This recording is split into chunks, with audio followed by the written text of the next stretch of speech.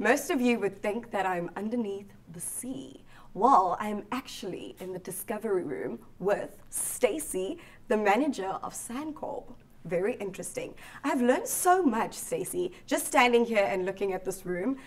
Fun fact, this is actually not a palm tree. It is actually a Whale whale's tooth. Yeah. Yes. Thank you so much, Stacey.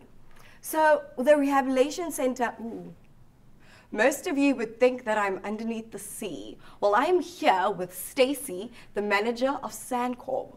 Fun fact, this is actually not a palm tree. It is actually a whale's tooth. Right, Yes. Stacey? Also known as a baleen plate. I've learned so much just standing here and looking at all these displays surrounding me. So we know that the rehabilit Ugh, ah. So we know that the rehabilitation center does not only rescue penguins, but it also creates awareness for the public. So Stacey, tell me about tell me more about the, the, the, the creating of the awareness to the public. Well, on a daily basis, we have visitors coming in and we have a tour guide available, and we take them through the center and we explain to them about marine life, what's threatening marine life. Yes. We explain to them about what we do. The rehabilitation, oh my gosh. The rehabilitation center is not only a rescue for penguins, but is also known for creating awareness for the public. So Stacey, tell me about more about the programs that you create to run for um, awareness. Well, on a daily basis, we have tours, um, visitors, members of the public, sometimes foreign visitors that come through. Yes. And we have a tour guide available, and we take them through our discovery room where they get to discover more marine life. We also take them through our rehabilitation process and explain to them what happens. And they obviously get to watch our penguins. Awesome. So the visitors, is it all people or just youngsters, the youth? Complete range. So Awesome. it ranges from tiny babies and toddlers to. Elderly people. And we also have a lot of school groups coming through. So we have an education department and we have schools that come in for lessons. Okay. And they specifically choose whether they want to hear about penguins or if they want to hear about marine debris or, yeah. Okay, so well, you know that um, the youth can sometimes take education as to be so dull. So how do you guys interact with them? What do you guys do to interact with them? Are there activities here around in the discovery room, outside the discovery room? What do you guys do to interact with them? Well, nothing here is boring for a little kid. Um, they definitely enjoy touching and feeling. They're allowed to touch whatever they want in Yes. this room. So you don't often get to go and pet a penguin. So Yes. it's quite nice for them to feel what the feathers feel like. We've also got other diff- other species of birds and mammals around that are stuffed, so they can feel what the fur feels like. Awesome. Um, we also have the beach nearby, and we're situated in a nature reserve, which is very, very special. So we incorporate a beach cleanup into every lesson. So they go onto the beach and they discover marine life in the rocks and in the on the beach, and then they also pick up litter while they're doing that.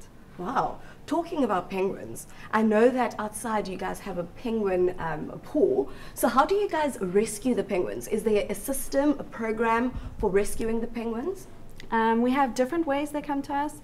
Uh, the most common way is either through SANParks or through members of the public. Okay. So we have a rescue line, and they can anybody can phone and say, "I've seen a penguin on a beach. Please, can you come and fetch it?" Or "I've seen a gannet on a beach. Can you come fetch it?"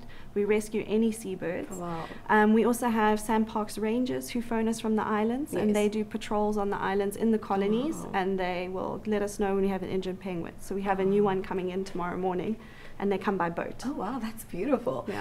So tell me more about how this works. Okay, so we've got all these strands in the Yes. baleen plate. They filter out microscopic food from the ocean water. Oh wow. So basically, they'll open their mouths and they'll let water flow through their teeth or through the baleen plate, and then their food filters out through that, and they can swallow what they've collected. Oh wow, that is beautiful.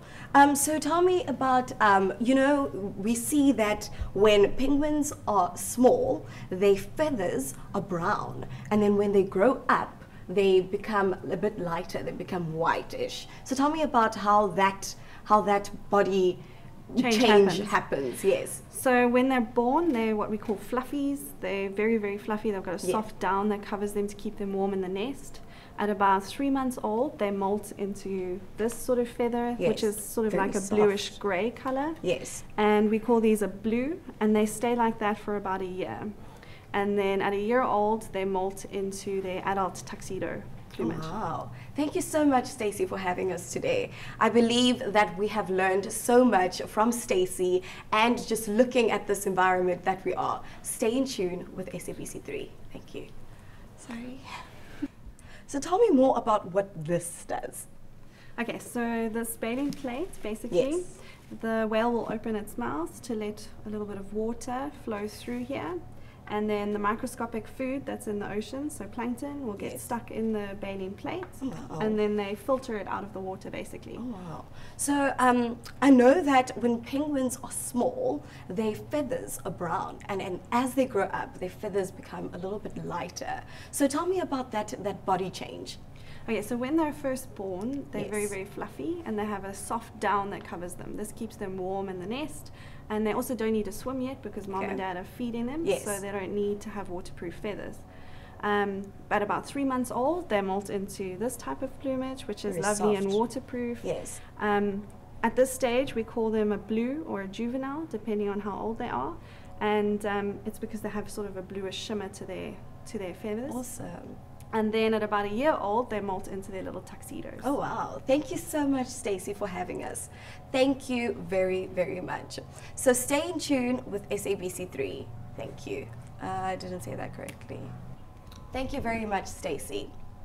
I know that we have learned so much with just looking at our surroundings. Thank oh my gosh. Sorry. Thank you very much, Stacey. I know that we have learned so much at just looking at our surroundings. And we, oh my gosh, I'm so sorry. Thank you very much, Stacey. I know that we have learned so much about the penguins and everything that is surrounding us. Stay in tune with SABC3. Thank you very much, Stacey. I know that we have learned so much in just looking at our surroundings and with Stacey telling us more information. Stay in tune with SABC3.